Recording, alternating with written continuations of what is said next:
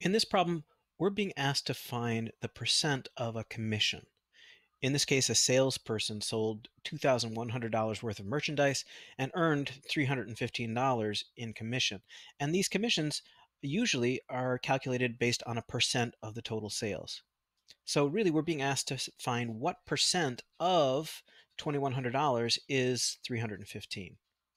And when you want to find what percent one number is of some other number, you divide one number by the other and then you multiply by 100. So we're going to divide 315 by 2100 and then we're going to multiply by 100. So let me pull out the calculator here.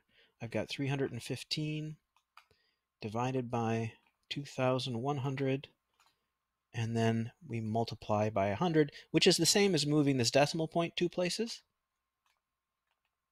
Two places to the right, that is. So that's 15%.